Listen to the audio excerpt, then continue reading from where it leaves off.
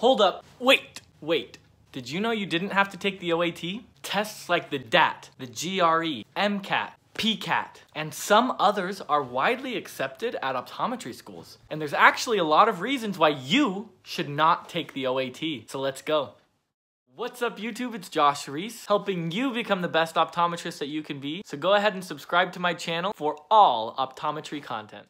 Alright, what this video is not, it's not me trying to convince you not to take the OAT. The OAT has a lot of pros, but it also has some cons. And there are some reasons why maybe the OAT is not the best choice for you to get into optometry school. I'm gonna break down the pros and cons of why you should or should not take the OAT. And it's going to be broken down by convenience, cost, and the amount of time you have to wait between retakes. Alright, number one, the OAT pros why you should take the OAT is all schools accept it. Every single optometry school is going to accept the OAT, and it's nice for the school to compare the same score across the board.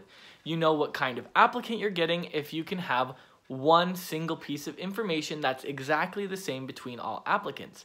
You can't say that about GPA, you can't say that about the essays you write, the experiences that they've had. The OAT is really the only thing that they have that's the same. The next reason why you should take the OAT is because it has physics on it.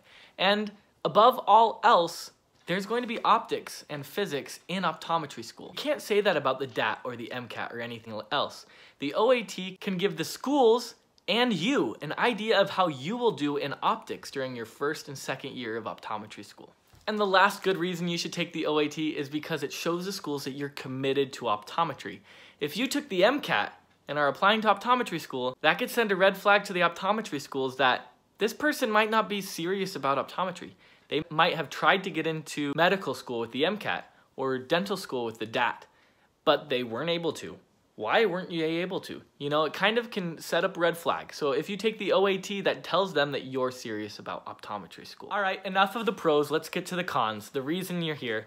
Number one is the convenience. So during COVID, when you were trying to apply to optometry school, you could not go to a Prometric station and take the OAT. Literally every applicant had to wait months to have their Prometric date um, pushed back and are, were unable to take the OAT at a Prometric station where you had to go in and take the test. Not every exam has to be taken at a station like that. There it was one that many schools started to accept because of it, and that is the GRE. Now, the GRE, you can get special permission to take it at home. Of course, it's going to be monitored and they're going to use your webcam and everything like that, but you can take the GRE at home in some cases. And that was a game changer during COVID. And so because of that, a lot of schools, almost every school, if you have a reason, they'll accept the GRE. And that can be great for people who are especially afraid of sections in the OAT that are heavy math or science based. Now the next reason is the retake time. So if you are unpleased or a school is not pleased with your OAT score, you would have to wait 90 days to retake it. Now, that is also the case with tests like the MCAT, the DAT, and the OAT. But the GRE, you don't have to wait 90 days. You can actually only wait 30 days.